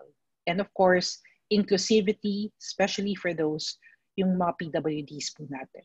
Next slide. And improve transportation and connection as well. Bike lanes, etc., and make it more accessible. Next slide, please. So this is to summarize the Mind the Gaps framework, which was uh, taken into consideration when they made this study. So Mind the Gaps, GAPS actually stands for green places, active places, uh, pro-social spaces, and safe places to actually be uh, one with the community and make mental health friendly cities a norm in our better normal. Next slide. So I think that ends my presentation. Thank you so much.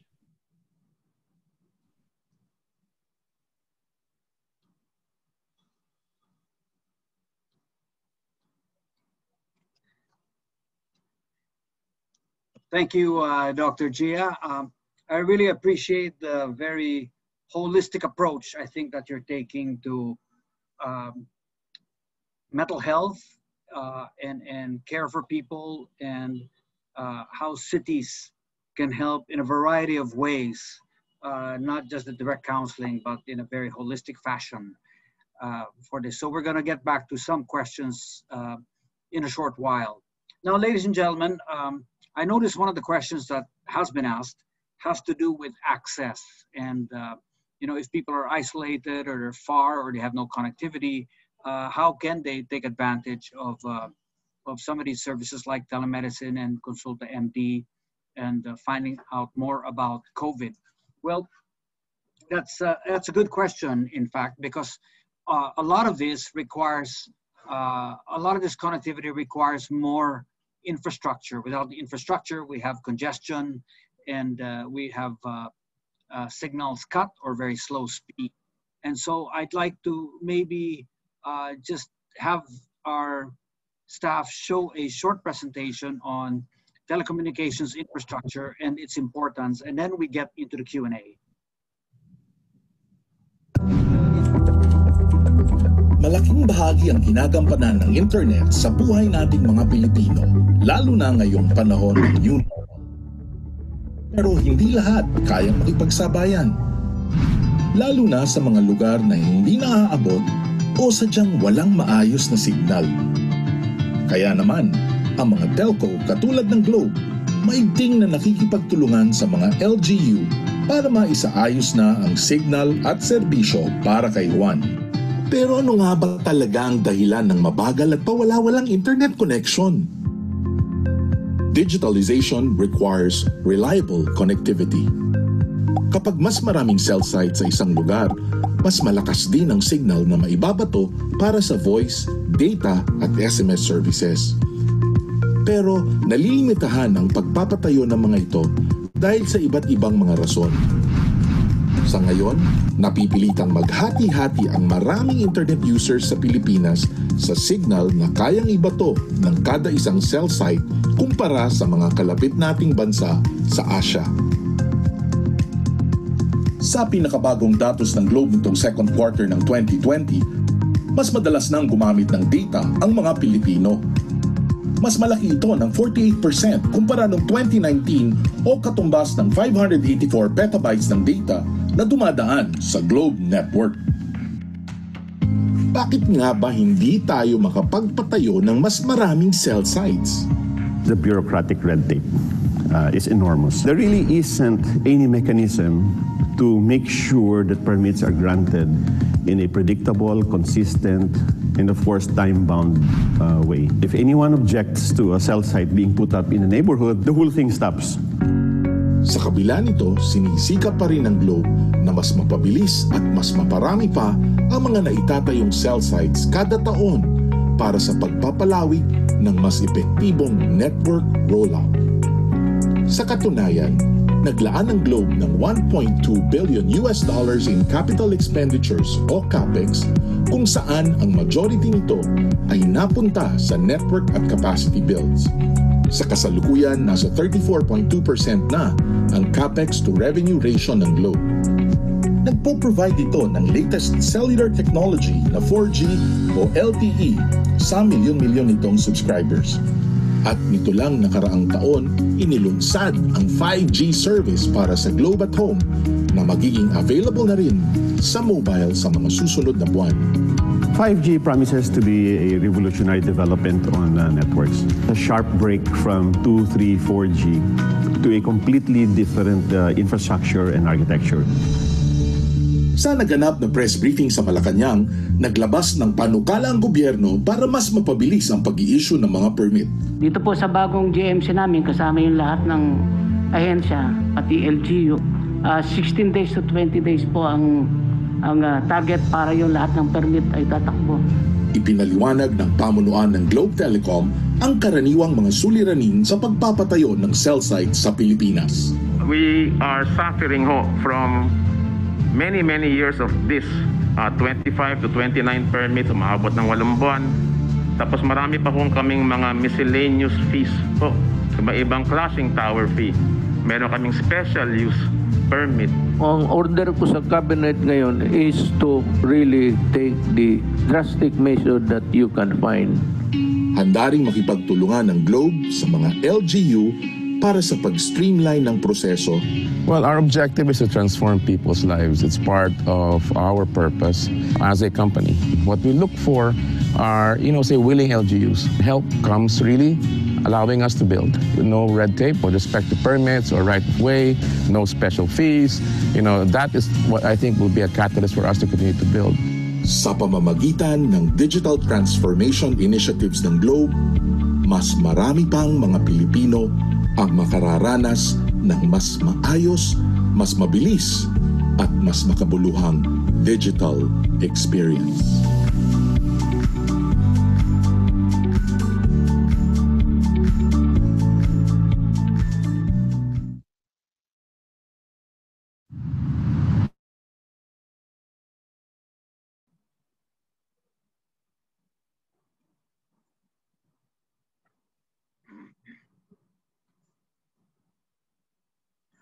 All right, thank you very much. Um, let's now proceed to our Q&A. We have still some time for for plenty of questions, actually. So let me uh, call back and reintroduce our panelists today. Sasha Bootsma, Technical Officer on World Health on Health Emergencies at WHO. Doc, uh, Director Eric Tayag, Director of the Knowledge Management and Information Technology Service at DOH. Cholo Tagaysay, Chief Operating Officer of KonsultaMD. Dr. Gia Sison, Head of Women's Wellness Center at Makati Medical Center. And uh, let me add uh, uh Dennis Javier, who's going to uh, be willing to take any of your questions on technology infrastructure if you need technology infrastructure. Um, okay, let me start off with some questions. Uh, unfortunately, Mayor Lani Mercado uh, Revilla had to leave, but uh, I, I think she's got a good question. I'd like to direct this to Cholo. Uh, how can LGU doctors participate in uh, KonsultaMD? Okay, so um, um, I showed this earlier. Uh, KonsultaMD can come in uh, to augment your existing doctors. Uh, and that, uh, but also we can plug in your existing doctors to the platform. Mm-hmm. So your, uh, your, your local doctors, uh, your local hospitals, so that it's an end-to-end experience. Mm-hmm. So I, I go on KonsultaMD, I consult. If, uh, if my concern uh, needs uh, needs to be elevated to a specialist, then uh, we can refer you to a local doctor, uh, enable scheduling with that doctor, and en enable scheduling with the hospital.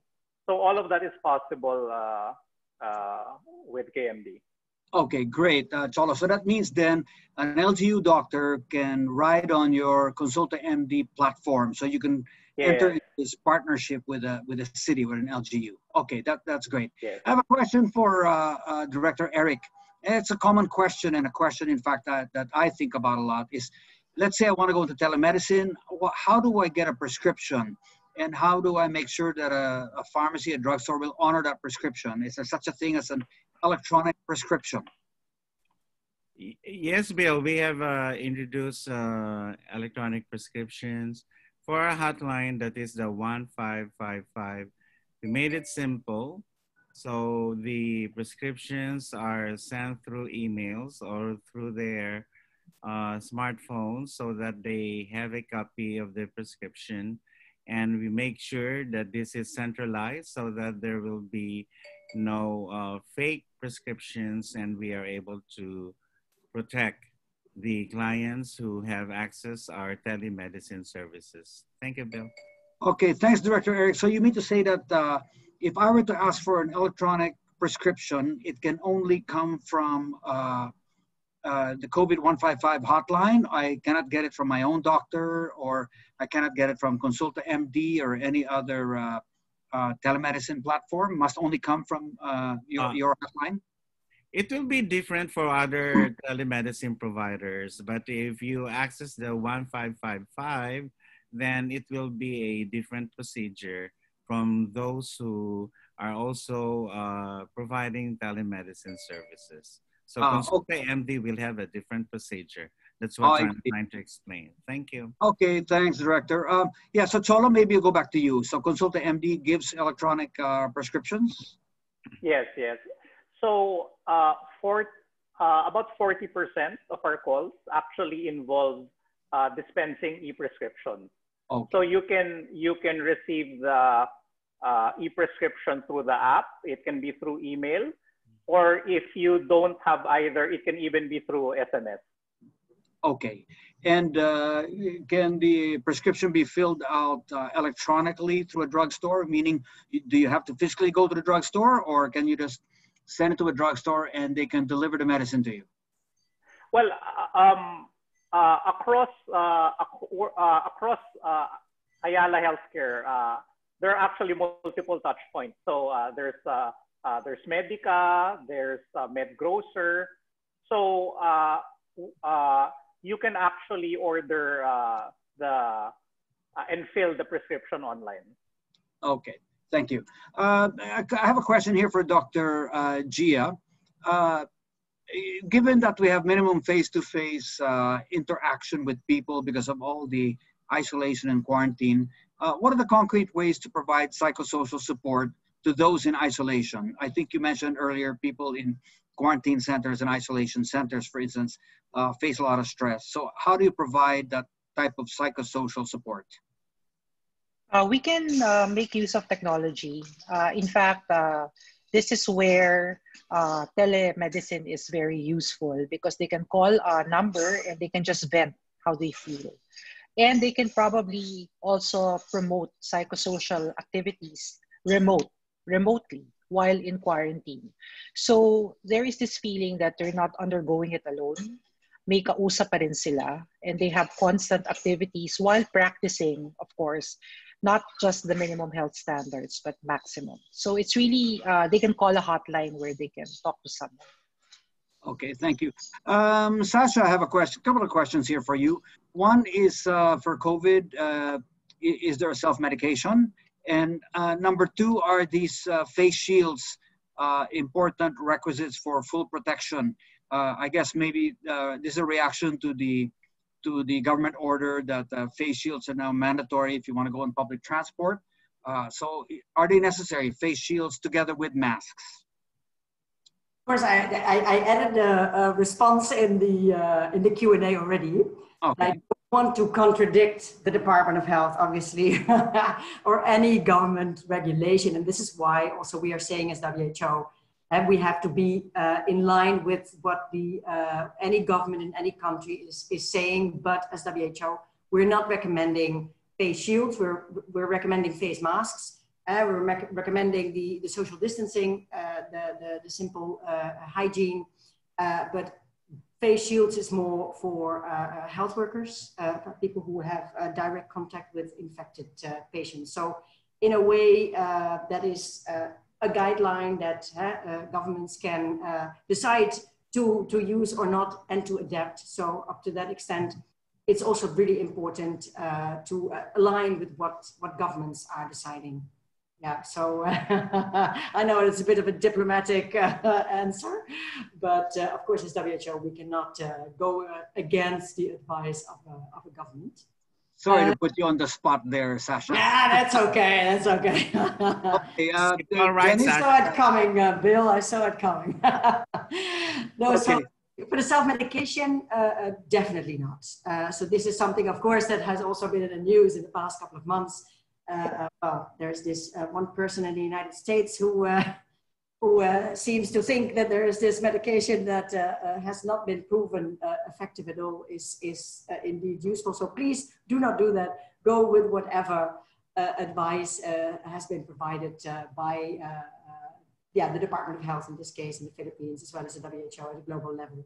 But so far, there have been no specific medications identified for COVID-19 that are helpful at all, particularly not for self-medication. No okay. All right. Thanks, uh, Sasha. Uh, Dennis, are you on the line? I've got a question for you. Uh, how do we ensure, how do you ensure access of telemedicine, especially in far-flung areas uh, where, where they don't have access to, to basic services and they don't have access to uh, digital signal or connectivity? Thank you, Bill. Um, actually, uh, that would depend on the uh, infrastructure in the area. Uh, we are happy to hear about the joint memorandum circular that was signed by uh, under the DILG. It's a major development towards our goal to improve, uh, to build more infrastructure in order to provide this service to the LGUs. Uh, we continue to work with the LGUs and the government uh, agencies to be able to streamline the permits, get approvals faster that will allow us to build right away. Okay, thanks. Thanks, Dennis. Um, I noticed a number of uh, participants have raised their hand to ask questions. I hope they're still on. Uh, let me call on uh, Maria Luth Rago. Uh, you had raised your hands for a question. Uh, would you like to ask your question now? We can turn on your video and uh, microphone.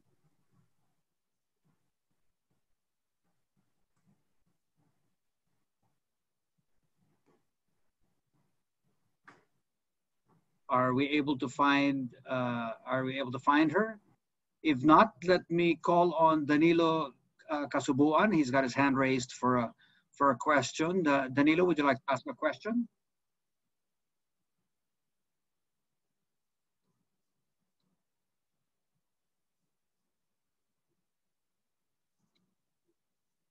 Okay, while we're waiting uh, for the questions to come in, let me ask a question here. Uh, this is, let me go back to Cholo. Uh, how do doctors with a private practice, not linked with any hospital, so an independent private practice, how can they be part of Konsulta's pool of doctors? They're not connected to any hospital. Okay, so uh, Director Tayag uh, mentioned this in one of his slides earlier. So there are there are different models uh, for telemedicine. There's the hotline model, there's the partner model, there's the virtual clinic model. Uh, KMD actually covers all of those models. So uh, uh, on one hand, uh, we do employ full-time KMD doctors. That's what allows us to provide the instant 24/7 uh, coverage that we do. Uh, but on the other hand, uh, we also have freelance doctors. So freelance doctors come onto the platform. they set their available hours. so, so para siyang Grab. So meaning to say a doctor can plug into the system, say, okay, I am available Tuesdays, Thursdays uh, on, the, on these time slots. And then the, the platform allows uh, booking uh, uh between patient and doctor. Ah, okay, thanks. And uh, I noticed, uh, Cholo, you have partnerships with a number of LGUs. in your experience, has KonsultaMD been used like a 9-11 uh, center where people have to call in and actually get emergency response or ambulances to to pick them up and send them to emergency? Has that ever happened to you? Uh, yes. So um, what happens is uh, KonsultaMD becomes your first point of point contact. It's your gateway to the healthcare system. So whatever it is uh, tatawag ka uh, whether it's an emergency or not. We've received calls uh, from people saying, hindi ako makahinga. so uh, in which case, we immediately refer them uh, to the nearest hospital, to the nearest doctor, to the nearest clinic. Uh, but yes, emergencies uh, have been part of the call. Okay, thanks. Uh, let me go back to Director Tayag. Uh, still on the yes, subject of uh, electronic prescriptions. Uh, would you know which of the drugstore establishments are accepting or honoring electronic prescriptions? Is it all of them or uh, just a few?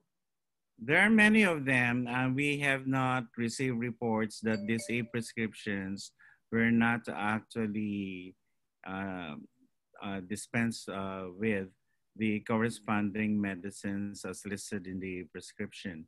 And I would want to add, Bill, because of the video presented earlier, that mm-hmm. the anti-red tape uh, authority has already issued a joint memorandum circular last June that will streamline the process for the applications of telecom so that cell sites would not be a problem when they want this to be uh, built, for example, with the uh, towers. Mm-hmm. And uh, also, I'd like to add that uh, in Quezon City, the telemedicine platform is different because unlike KonsultaMD, where they wait for random calls, here we have a model wherein the telemedicine provider is the primary care physician wherein the clients are actually matched. Thank you, Bill. Okay, thank you. Oh, that's interesting. Um, let me see if there are other questions here.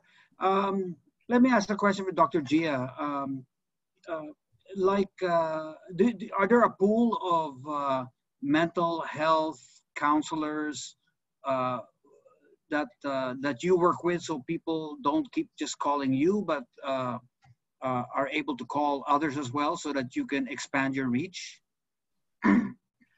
Um, the National Center for Mental Health has a crisis hotline bill, uh, and there are several CSOs that are actually offering their services for free.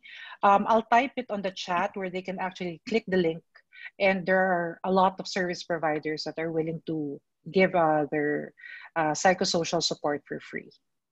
Okay, thanks. Yeah, uh, so we'll wait for you to type that into our chat, and we'll make sure we we distribute that to, to all. Um, okay, thank you. Uh, let me move to uh, my second to last question, I guess. Let's say, um, uh, Director Eric and, um, and, and, and Cholo, uh, this is a good question. Are there instances where telemedicine uh, has been abused and are there security measures that regulate uh, against such abuse, no? how, how do you know you're how do you know you're talking to a real doctor, for instance, or that you are getting a good advice? Okay, any technology can be abused, Bill. That's why uh, we want to make sure that guidelines are actually followed. So we have policies or guidelines that also allows us to monitor performance of telemedicine services that are actually provided. And we are very strict on this.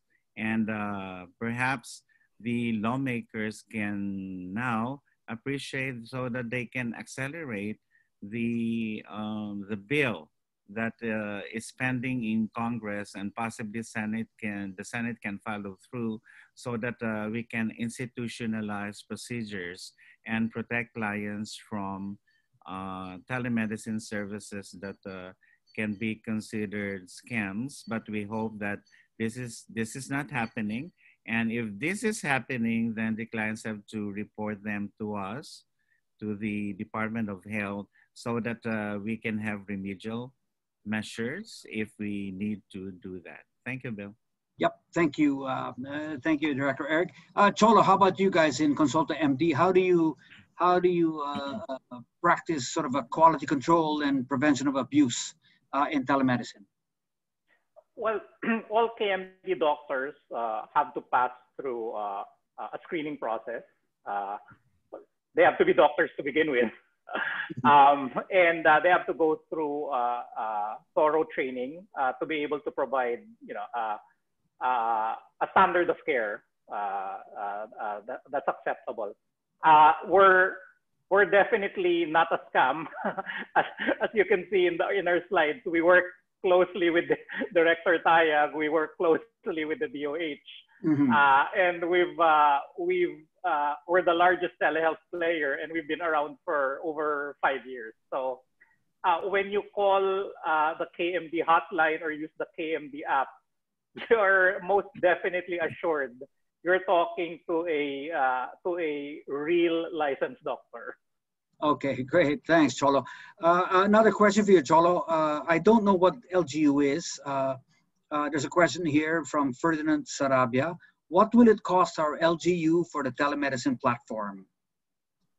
Um, the so uh, um, the uh, excuse me, Cholo. Um, yep. LGU stands for local government units. Okay, thank you.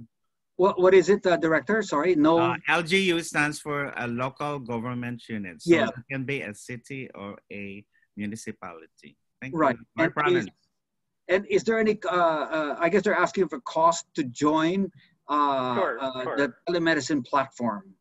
Sure. So I, I guess for, for context, uh, our, our vision and mission is really to be able to touch as many Filipinos as possible. Uh, six out of 10 Filipinos die without ever having gotten to talk to a doctor. Uh, KonsultaMD wants to change that. That's why our pricing to begin with uh, is already very low. Our consumer offering is just 15 pesos. You can already talk to a doctor for as low as 15 pesos. Our pricing for LGUs is even much lower. Uh, it goes as low as 1 peso per day uh, or 30 pesos for a month. So for one peso a day, uh, you can talk to a, to a licensed doctor uh, as often as you want already. Uh, I think in terms of bringing healthcare to a mass market, uh, it really can't go lower than that. piso mm-hmm. siya, piso per day, 30 pesos per month. So uh, we deliberately priced it that way uh, because uh, we're very enthusiastic to work uh, with LGUs.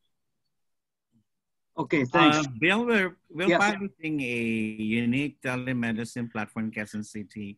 And in the next few weeks or months, this will be the benchmark for other LGUs to adopt. Of course, uh, the LGUs can consider other options like the KonsultaMD platform but we Secretary Duque III uh, will be announcing soon that uh, the telemedicine platform for LGUs will be available before the year ends. Thank you. Okay, great. Thanks, Director. Uh, good to know. Uh, let, let me just quickly respond to two questions here. Uh, on the uh, on the evidence that uh, uh, there's no spread in schools, um, well, it, it's too early for us to tell, I guess, in the Philippines because schools really have been cut off for quite some time. Um, I think they were not able to, schools were not able to complete the last term uh, before they took the summer break and now are not allowed to to start. So uh, uh, we're going to see how that goes. Uh, uh, but for the moment, there will be no uh, in-person teaching or learning on the part of our schools, at least until October, I think is the new date for, for the public schools at least. Private schools can open earlier. there's a question also about will the DILG uh, joint memorandum circular work to cut red tape? Well, it's a pretty new circular and we're about to find um, uh, find out whether this is going to, to work. Uh, if you see suddenly a lot of uh, cell site construction uh, ongoing by the telcos, then you will know that the joint memorandum uh, circular is, uh, is, is working now. So let me close with the last question. I'd like to ask all our panelists to respond. there was a question here that uh, there have been a lot of good recommendations and guidelines issued by DOH and by by WHO. And so the question is really, is it, um, uh, is, uh, is, it, it's maybe not a matter of the guidelines, but a matter of the implementation. So uh, what, sort of if you were to give a, a, wish list of the top one or two things that we should concentrate on to, to, to manage the uh, uh COVID spread and the pandemic and bring it and, and flatten the curve, what one or two items would you recommend uh, for people to, to follow so that we can all uh, jointly manage the, uh, the numbers downward? Um, uh, let, me, let me start first of all with uh, uh, Dr. Gia, can I, can I start with you? well, dealing with this pandemic is really a community effort. So everyone has, plays a part on this and uh, continuous reiteration and education about what COVID is, busting fake news, busting uh, what COVID is not, and uh, let's let's not stop at that as well. Let's move beyond uh, the pandemic in itself and address also the um, pressing needs that surrounds it. And I would always go for the mental health concern as well when it comes to that. Thank Great. you, Bill. Thanks, thanks, Gia. Let me let me go to Cholo. Cholo, what would you uh, recommend the one or two things that we really need to do to uh, to address the health issue and address COVID?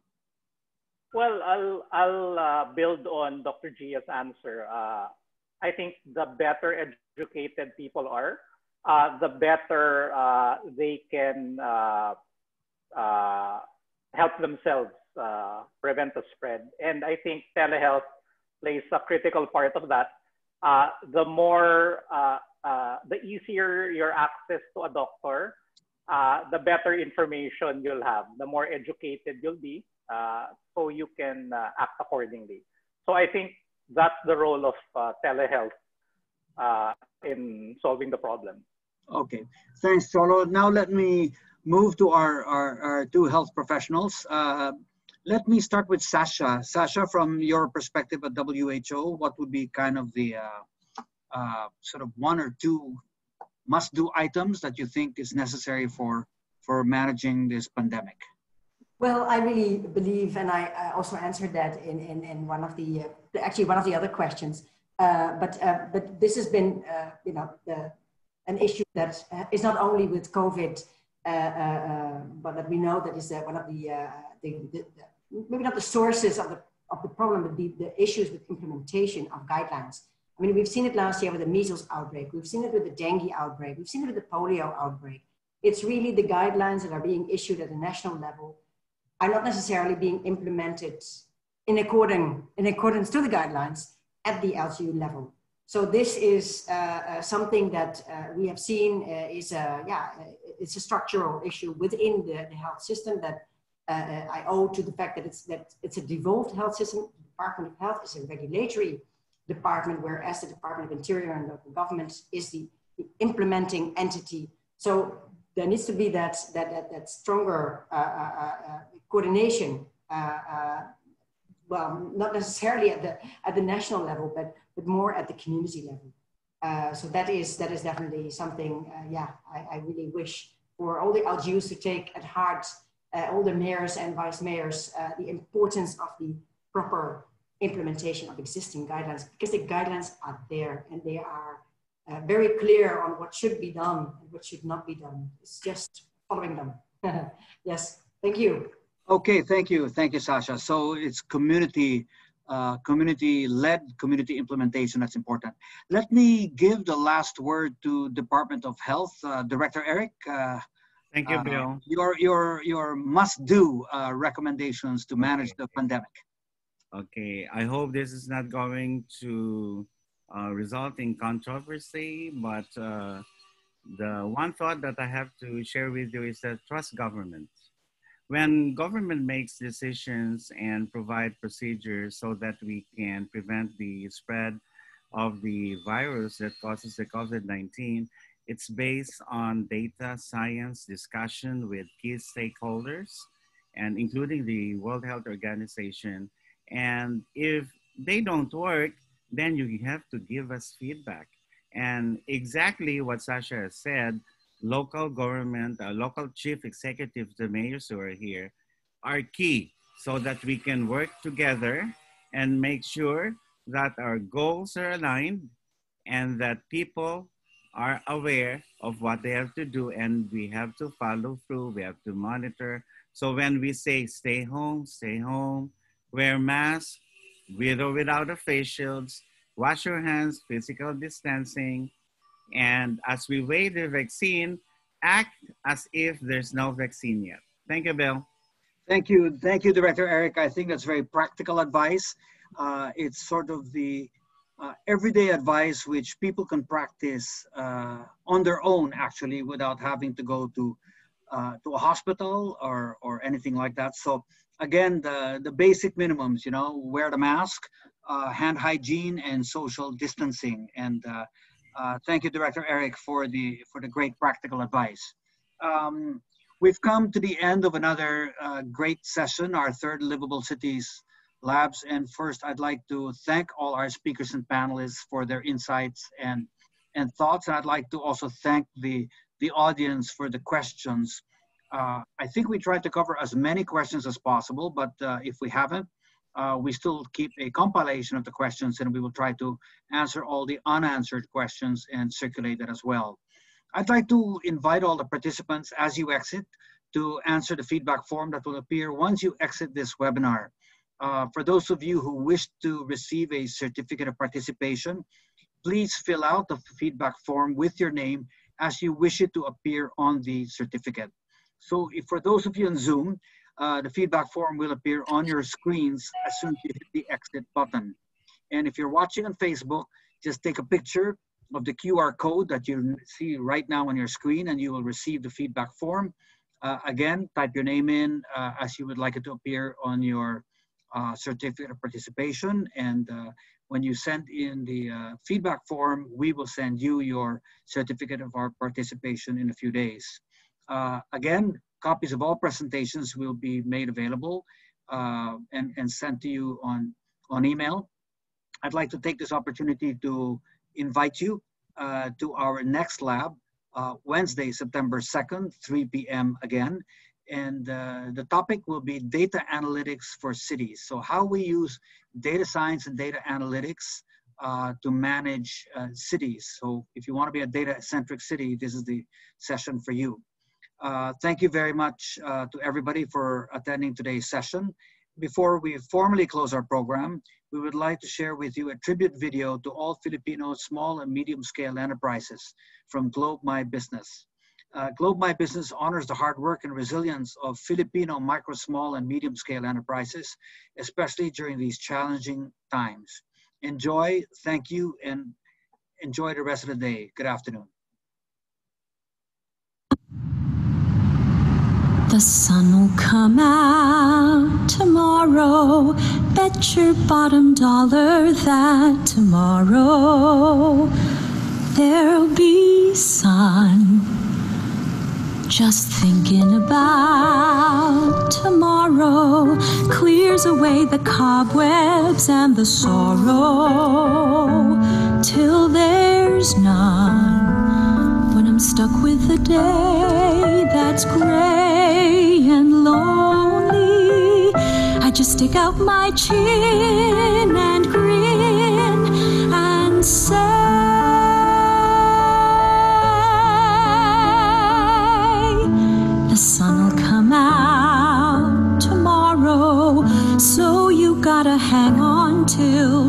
tomorrow.